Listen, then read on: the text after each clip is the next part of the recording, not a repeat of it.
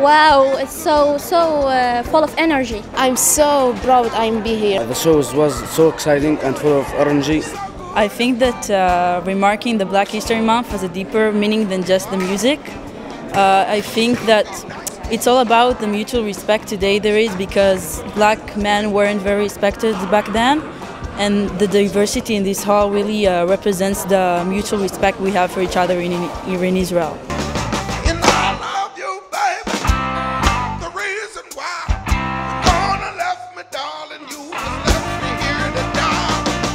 The show was uh, really interesting. I loved it. I think um, I know a lot more now than I knew before about the history of America.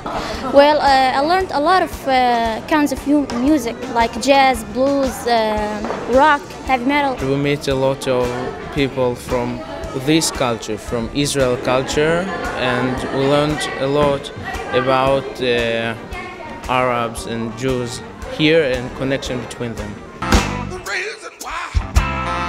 A program like this to let kids get together and uh, interact with each other, people that wouldn't that wouldn't normally sit with each other and sing with each other, and it's a great way to reach them.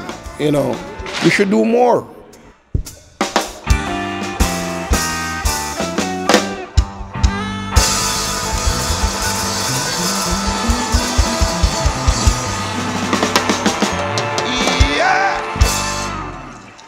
Thank you.